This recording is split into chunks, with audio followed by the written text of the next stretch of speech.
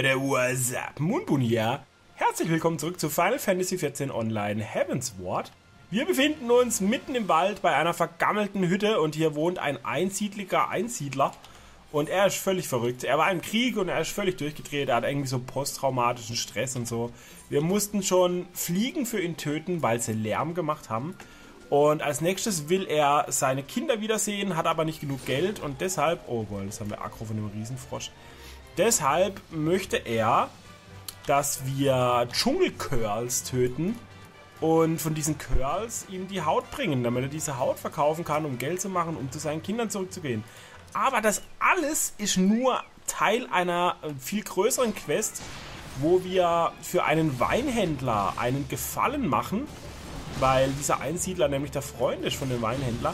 Und der Weinhändler muss uns einen guten Wein verkaufen äh, für unser Festmahl. Wir haben ja die drei Köstlichkeiten Eoseas gesammelt in den letzten paar Wochen.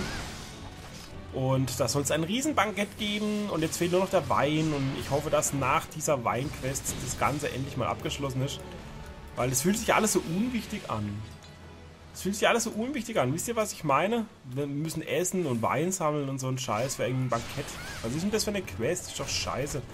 Ähm, die eigentliche Meta-Quest ist, dass wir gegen den Titan an, gegen, wie heißt er? Gegen den Primä-Titan antreten müssen. Also einer dieser bösen Götter, Wichser, Viecher. Und keiner will uns verraten, wie man gegen den kämpfen kann. Aber es gibt Leute, die schon gegen ihn gekämpft haben. Und deshalb wollen wir eben dieses Bankett machen oder so. Lol. Ist aber schnell gestorben. Okay, noch zwei Dschungelcurls, dann haben wir's. Lecker, kommt schon auf mich zugestürmt hier. Ach, fuck, immer diese AOE-Scheiße hier. Ich glaube, ich bleibe einfach mal drin stehen, weil so viel Leben wird es mir nicht abziehen. Go, Schokobo, kämpfe in mir. Fuhu, Kalipu, Tain. So, oh, das sind zwei. Ich will keine zwei. Ja, du bist alleine. Du bist einsam und alleine. Dich nehme ich mir vor, du Bengel. Komm her. Wir zünden sogar mal unser Crit-Scheiß, den wir haben. Und wir bleiben jetzt drin stehen. Ist mir scheißegal. Wir zünden. Ausweichen.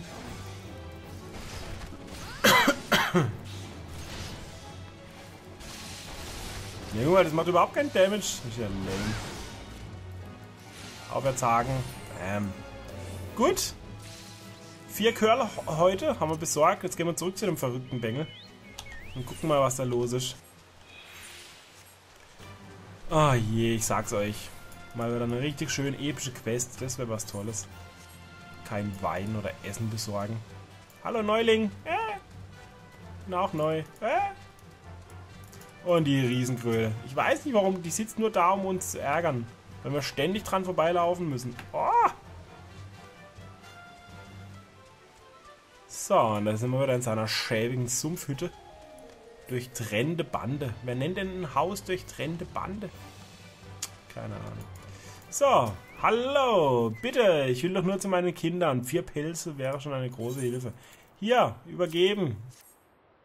Hast mir wirklich geholfen und das, obwohl ich galerische Kaiserreich gekämpft habe. Ich war mit äh, meiner Einheit auf einem Erkundungsgang, als uns der Malstrom erwischte. Wir versuchten zu fliehen wurden aber erbarmungslos niedergemetzelt. Außer mir hat niemand den Zusammenprall überlebt. Das ist not gut. Ja, es ist wahr, ich bin ein Feind von Easea, aber ich stamme eigentlich gar nicht aus dem Kaiserreich, sondern aus einem kleinen, unbedeutenden Land.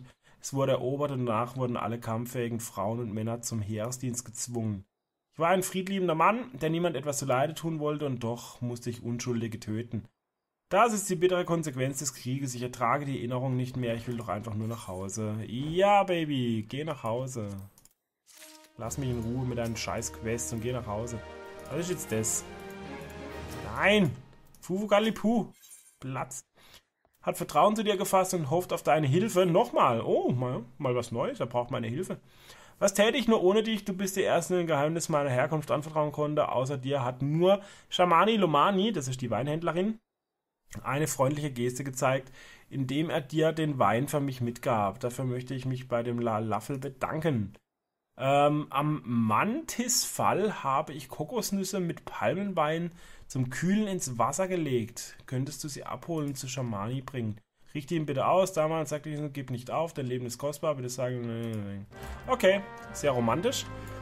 Hm, ich habe so eine Ahnung, dass diese gekühlten Kokosnusspalmendinger, was wir jetzt abholen müssen, dass das vielleicht unser Wein sein könnte. Der ist jetzt über alle Maßen gut bestimmt und Shamani Lomani sagt, what, das ist das Beste, was ich jemals getrunken habe. Der ist ja voll geil, what? Und wir, ah really, kann jetzt nicht runterspringen. Oh meine Güte. Und dann können wir das ähm, mitnehmen für unser Festmahl. Kokosnuss mit Palmenwein. Oh ja. Oh ja. Oh Gott. Bitte. Dann haben wir die Weinquest beendet. Ich weiß, ich bin hier nur am Rumweinen. so nenne ich die Episode nur am Rumweinen. ich cleverer Fuchs. Hoffentlich denke ich dran. Meistens vergesse ich dann wieder. Kröte, go away. Das ist mein Kokosnuss mit Palmenwein. So. Und jetzt bringen wir das zu Shamani. Und da porten wir uns jetzt einfach hoch. Fuck this shit. Ich habe keinen Bock, den ganzen Weg wieder zu rennen. weggesappt.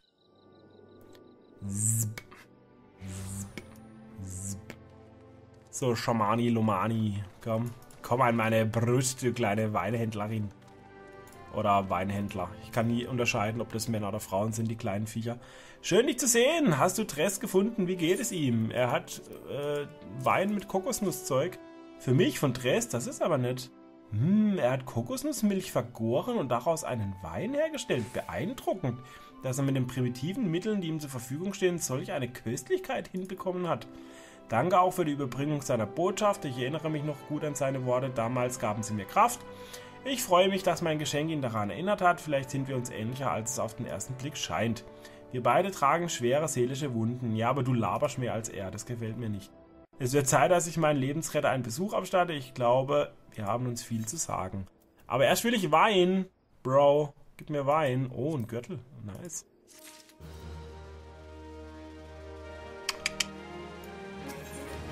Schaman Lomane hat eine aufregende Entdeckung gemacht. Den Zwölf sei Dank, dass du noch hier bist. Mir ist etwas Außergewöhnliches an Drests Geschenk aufgefallen. Er hat sein Getränk in ausgehöhlte Kokosnüsse gehüllt, nee, gefüllt und diese jeweils mit einem Blatt verschlossen. Die markante Form, die Farbe und der Geruch der Blätter, das alles ist unverkennbar. Es handelt sich dabei zweifellos um die Blätter des ausgestorbenen geltenden Bacchusweines. Ist dir klar, was das bedeutet? Wo Weinblätter sind, da muss auch eine Weinrebe sein. Eine Rebe würde reichen, um daraus den legendäre Traubenart neu zu züchten. Das wäre Revolution der Weinwirtschaft. Kannst du Dress gehen und fragen, wo die Blätter gefunden hat. LOL. Really? Würde da runter? Oh meine Güte, ey. Gibt's da nicht einen Flugpunkt oder so ein Scheiß? Mein Gott, ey. Ein Hin und Her. Aber cool. Dann haben wir bald unseren Wein. Wenn er das Ding jetzt züchtet und so, dann können wir das bestimmt ähm, mitnehmen. Und dann haben wir unseren guten Bacchuswein. Es sei denn natürlich, der Trest kommt jetzt wieder und macht da draußen eine riesen Questline. Die Reben, ja, die sind im Süden, aber da müsst ihr zuerst mit den eingeborenen Stämmen freundlich werden. Dazu müsst ihr dort noch 50 Quests machen. Dann könnt ihr euch den Bacchuswein aus dem Arsch ziehen. So irgendwie wird's kommen. Jede Wette. Was ist das hier? Da roten, rote Scheißbäume. Macht gar keinen Sinn. Das ist immer noch der Ne, ist ein anderer Fate-Bereich. Hier ist kein Mensch, kein anderer Spieler macht hier irgendwelche Fates. Ich habe keinen Bock, die allein zu machen. Gobue. Hast du Bock, Gobue, mir zu helfen? Ne, das dachte ich mir. Wo laufe ich eigentlich schon wieder rum? Völlig im Siff. Aber jetzt sieht man es mal, wie es hier aussieht, wenigstens, auch wenn es jetzt wieder mitten in der Nacht ist, gleich 2 Uhr. Trotzdem sieht es schon schöner aus als mit dem Regen gerade eben. Man sieht einfach weiter. Was ist das für eine blaue Höhle da hinten? Naja, whatever. Jetzt gehen wir hier wieder zu Drest und fragen ihn. Hey Bro, woher sind die guten Bacchusblätter? Hey Bro. Bro, woher sind die Bacchusblätter? Hey Bro. Oh, hallo, du bist ja schon wieder. Hast du vergessen? Ist was passiert? Bacchusblatt. Nein, ich wusste nicht, dass das seltene Blätter sind. Ich hatte sie nur gewählt, weil ich sie hübsch fand. Ich habe sie in dem Sumpfgebiet südlich von ihr gefunden, aber da waren keine Weinreben, soweit ich weiß. Seht ihr, südlich, ich habe es vorausgesagt. Hm, was ich dort sah, waren Gobur-Spuren. Dabei kommen mir die Gedanken, vielleicht wachsen die Reben ja auf einer Gobur. Kann das sein? In der Gegend soll Schätzmul leben, besonders aggressiv und gefährlich gilt. LOL. LOL. Jetzt müssen wir echt einen Gobur töten, oder was? Schätzmu besiegen. Oh lol. Ah, das ist gerade da vorne. Das ist nicht weit weg. What? What? Oh, bitte Schätzmu, drop einfach 10 Reben. Lass mich in Ruhe. Ja, bin zu weit entfernt. Fuck you. Ringe im Wasser erregen deine Aufmerksamkeit. Komm her, Baby. Du bist mein Schätzmu. Du wirst jetzt hart getötet. Dann machen wir mal unser Ausweichen an.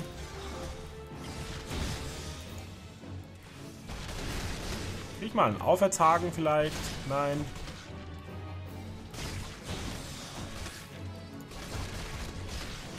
Jetzt. Bam.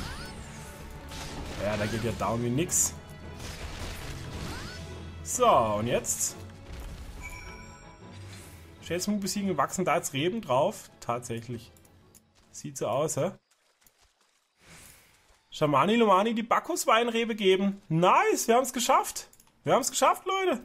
Und wir porten uns. Fuck this shit. Wir sparen so viel Zeit, wie es geht hier. Ich meine, ist ein Let's Play, nicht ein Let's Walk. Äh. Obergeil.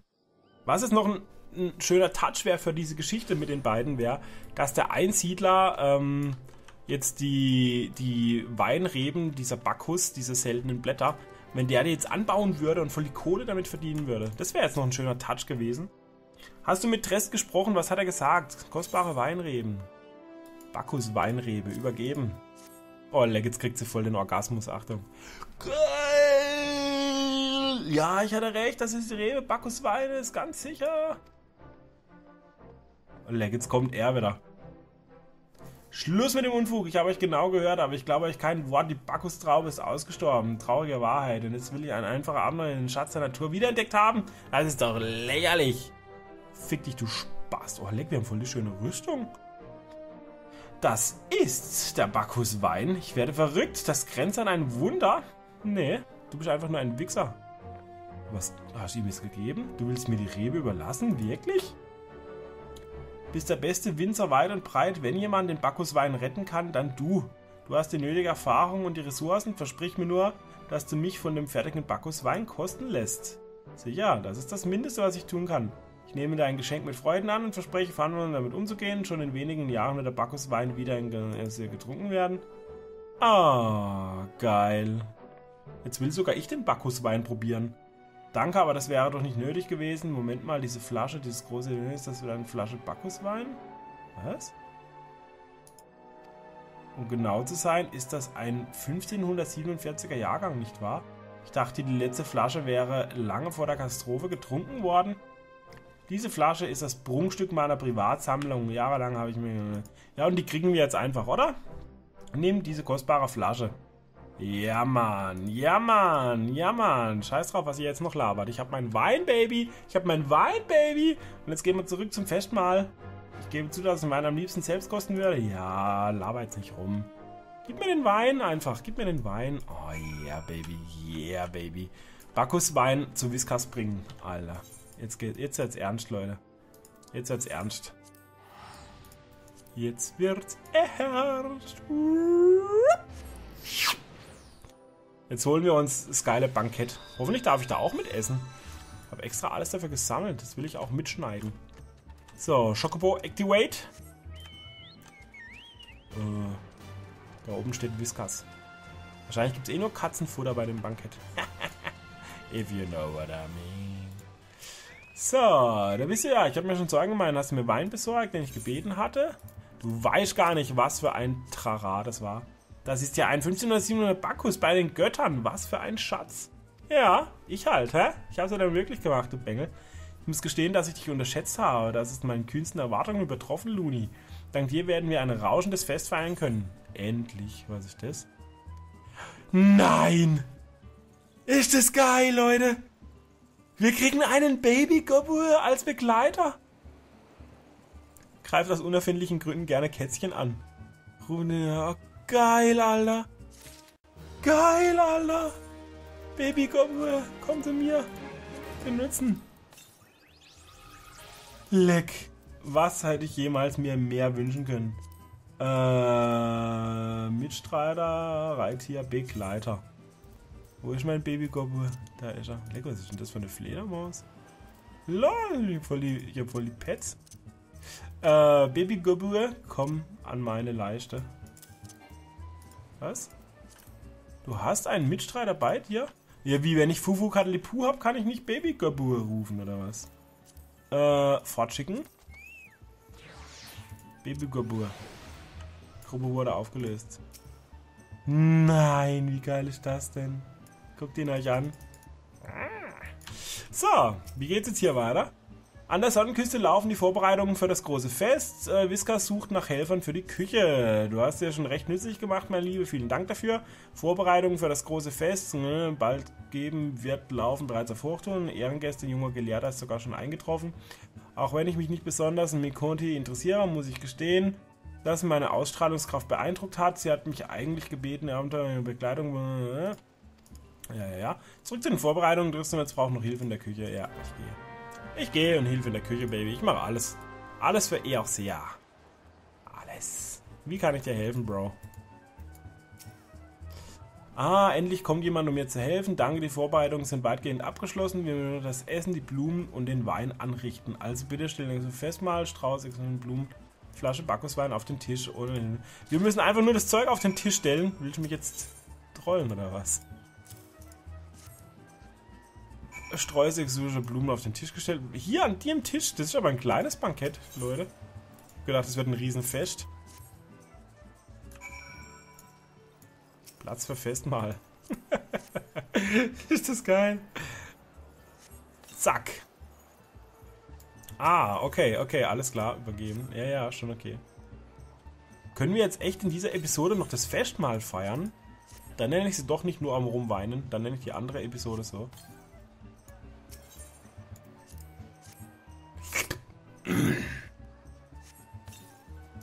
Yay! Quest beendet. Mit Whiskas sprechen. Schwupp. Komm, Baby Gobur.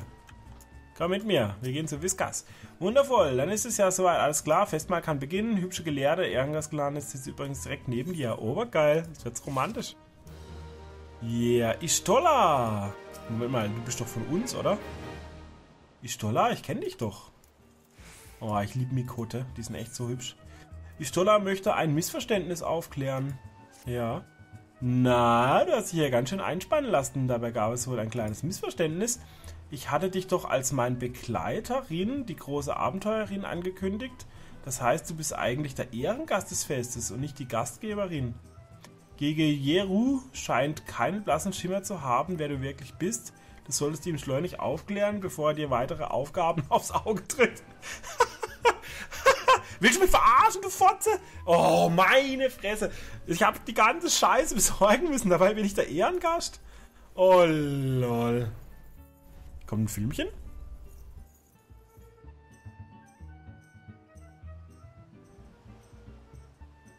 Filmchen. Wie bitte? Du bist gar keine Lakaien? Woher soll ich denn das wissen? Nun ja, ich verzeihe dir, dass du dich nicht ordentlich vorgestellt hast. Jetzt weiß ich ja Bescheid. Lel. Ist das alles? Ein wenig herzlicher können die Entschuldigung schon ausfallen. Ja, gib mir von dem Wein. Gib mir den Wein, Bro. Ich will den Wein. Lol, da kommen sie alle. Bitte verzeiht die Störungen, wir würden euch gerne Gesellschaft leisten. Nichts lieber als das, wir danken euch für die Einladung zum Fest, doch war ihr so freundlich, uns aufzuklären, welches Spiel hier gespielt wird. Oh lol, was kommt jetzt? Oh Gott, der Goblin mit dem Goblin-Käse ist auch dabei. Ja, ich denke, wir sind euch eine Erklärung schuldig. Also, beim Herr der Helden gab es einen Brauch, um unnötige Opfer zu vermeiden.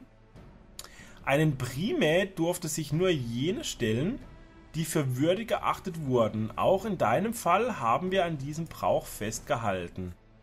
Ach ja. Landenel hat deinen Mut auf die Probe gestellt und Udo deine Techniken. Udo, er heißt einfach Udo. Brüllfox hat deine Auffassungsgabe bewertet und Shamani Lomani dein Mitgefühl. Oh, dabei habe ich nur geraged bei Shamani Lomani, aber das hört sie ja zum Glück nicht. Tja, und ich persönlich durfte mich von deiner Kraft überzeugen. Ja, da guckst du. Das sind die zentralen Eigenschaften, auf die es beim Kampf gegen einen primär ankommt. Um dich nicht blind in den Tod zu schicken, wollten wir wissen, aus welchem Holz du geschnitzt bist. Ja, es waren alles Prüfungen. Verstehen, dann habt ihr sie gar nicht grundlos auf die Vorbereitung eingespannt. Das waren sozusagen alles Prüfungsaufgaben. Zu welchem Ergebnis seid ihr gekommen? Eins in allen Fächern. Mich hast du auf ganzer Linie überzeugt. Köstlichkeiten, die du zusammengetragen hast, waren an, alles andere leicht zu beschaffen. Waren Mut bewiesen. Easy. Dem kann ich mich nur anschließen. Auch mich hast du überzeugt. Was sagt der Goblin? Brüllvolks. Äh, Großwachsende gehen zu Titanen mit Töterwerkzeug. Brüllvox schenken gute Wunsch für Sieg. Ja, Mann. Um es kurz zu machen, das Heer der Helden erachtet dich für fähig, gegen Titanen anzutreten. Wir werden dich nach Kräften unterstützen. Obergeil. Endlich, Leute. Endlich zahlt sich's aus. Wir vertrauen darauf, dass du in unseren Fußstapfen treten und eher sehr retten wirst. Ja, Mann. Genau das war mein Plan von Anfang an. Können wir jetzt trinken und essen? Ja. Ja. Ja. Genug geredet, ich freue mich schon auf die Darbietung der Tänzerinnen und natürlich auf drittes göttliches Essen. Esst, trinkt, seid fröhlich. Yeah, baby. Luni Kiba, die Tanzbezwingerin, sie leben hoch. Ich habe ihn noch nicht mal, ich habe ihn noch nicht mal gesehen und werde schon Bezwingerin genannt. Obergeil. Oh ja, Mikote Baby. Oh, sehen wir jetzt nicht das Essen? Oh Mann, ey. Oh lol, jetzt habe ich alles zusammengetragen und sehe nicht mal das Essen. Was für ein Crap mit der verlockenden Tänzerin sprechen. Oh ja, doch, das will ich jetzt noch machen. oh ja, du bist eine sehr verlockende Tänzerin. Oh, da vorne tanzt noch was.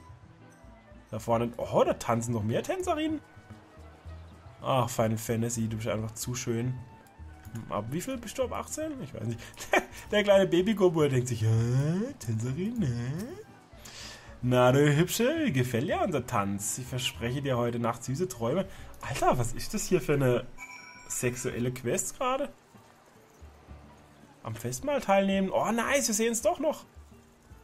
Om nom nom. Yeah. Yeah. Da ein paar Äpfel und Gurken. So, ist richtig. Das ist ein Festmahl. Om nom nom. Keiner isst mit mir. Jetzt sitze ich da alleine und dann haben wir, yeah, gut gegessen. Gut gegessen, Bro. Du hast das exotische Festmahl verzehrt. Es war die reinste Offenbarung. Etwas Besseres hast du noch nie gekostet. Hm, cool. Cool, cool. Okay. Oh, leck, was ist jetzt? Mit Weißkart und seinen Gefährten sprechen. Oh, das sind ein Haufen Quests. Äh, Titan ist ein mächtiger Primär, wird nicht leicht zu besiegen sein. Doch mit einem guten Herzen wirst du über ihn triumphieren. Yeah. Gib mir jeder noch seinen Segen. Ach, ich habe keinen Bock mit dir. Ich habe überhaupt keinen Bock, den Scheiß zu lesen. Ich will lieber hier bei den Tänzerinnen rumstehen. Mit deinem Mut wirst du selbst im Angesicht von Titan die Ruhe bewahren und wohlüberlegt handeln. Du kannst ihn besiegen. Oh ja, Baby. Oh ja, Baby. Ja, weiter geht's.